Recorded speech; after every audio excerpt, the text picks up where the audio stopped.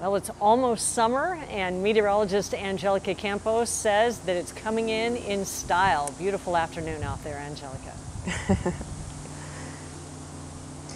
Hi, Kim. It feels like summer has been wanting to just kind of move in slowly and then it pushes back and then moves in and then it just kind of goes away. But this weekend, officially, summer solstice, 2.42 in the afternoon on Saturday for us here in San Diego. And that means summer will officially be here with a warm up in store for next week. So far this week, temperatures are seasonably cool, but still a nice, pleasant, and you can see gorgeous afternoon in PB. Also looking beautiful in San Diego and overlooking from Coronado, 69 degrees there. The wind's coming out of the southwest at 9 miles per hour. And we have a nice breeze going here. You can see the temperature is about the same since yesterday, only a couple of degrees warmer at the coast.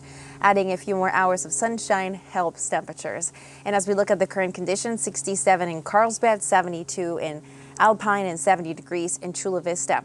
Looking ahead in our weather headlines, morning clouds expected tomorrow from the coast to our inland communities. Nice clearing though with plenty of sunshine for the afternoon and then gradually warming things up on Saturday into next week.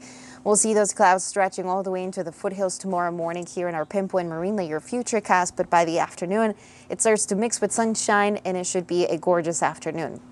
Warm weather will continue to settle in as a ridge of high pressure not only sets at the surface but also into the upper levels of the atmosphere. And you can see those colors getting darker by next Tuesday. That's when we'll see those temperatures really go up.